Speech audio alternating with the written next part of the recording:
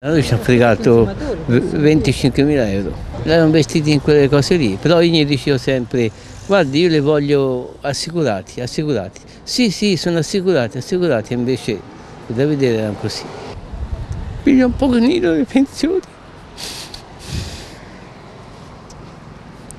Sì, sì, agricoltori, sì, la terra, la terra per mangiare, insomma, per vivere, come si dice. Eh, ci ha preso tutto.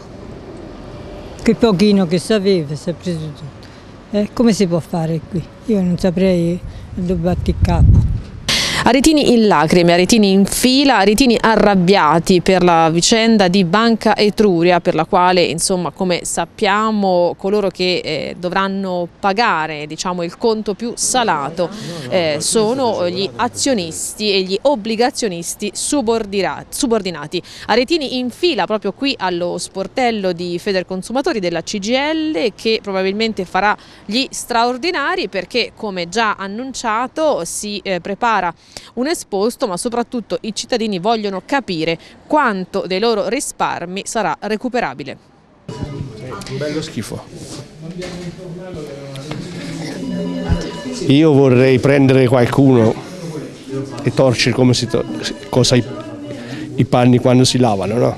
Capito? Ecco. Io, io ho perso poco, ma c'è chi ha perso di più, ma io per il mio poco sono tanti. Io, io ho 70 anni, capito? Ecco. Ora sento, non, non, glielo dico, ma ho perso veramente un sacco di soldi.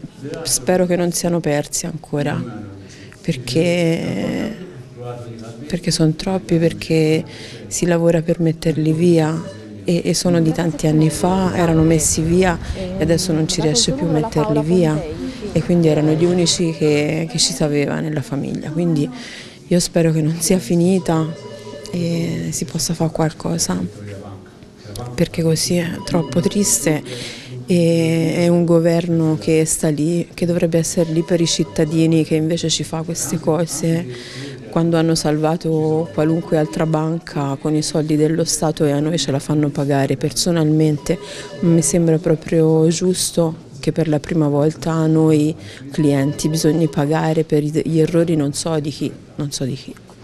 E peccato che non sappiamo di chi, perché sennò qualcuno li andrebbe anche a cercare, ma non si sa chi cercare. Gli amici, sono gli amici della politica e secondo me è questa qua la ragione per cui non, non ci sono altre ragioni.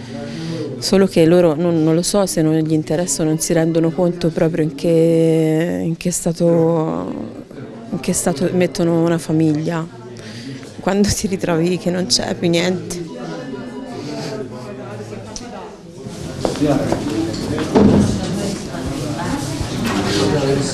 Hanno finanziato aziende che sapevano in anticipo che fallivano.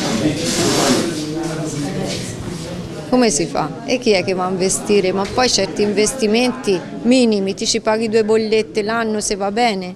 Cioè io vado a rischiare i miei soldi per pagarmi due bollette l'anno, non è che io ci facevo budelli d'oro con questo investimento.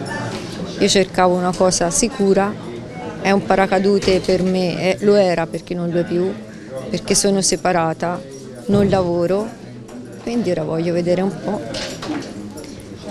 se il governo mi porta a pranzo a casa sua, oppure i signori della Popolare. Mm?